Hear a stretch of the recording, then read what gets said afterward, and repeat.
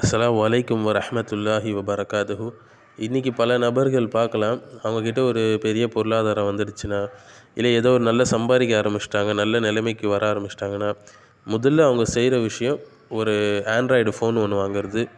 ரெண்டாவது அவங்க வந்து புது வண்டி ஒன்று வாங்குறது. ரெண்டுமே தவறு கிடையாது ஹலால் தான். ஆனால் இந்த மொபைல் ஃபோன் வந்து கொஞ்சம் வந்து அதை பயன்படுத்துறதுக்கு அந்த நபருக்கு சரியான தக்குவாவும் சரியான மார்க்க கல்வியும் மேலும் அல்லாவிடமிருந்து ஹிதாயத்தும் தௌஃபீக்கும் தேவை. இந்த மூன்று விஷயங்களும் இருந்தால் தான் அவர் வந்து செல்ஃபோனால் நரகத்துக்கு செல்லாத ஒரு நபராக இருப்பார். இந்த மூன்றும் இல்லாமல் அவர் பயன்படுத்தினால் செல்ஃபோன் மூலம் நரகத்துக்கு போகக்கூடிய நபரில் அவரும் ஒருத்தவர் இருக்க வாய்ப்புகள் அதிகம்.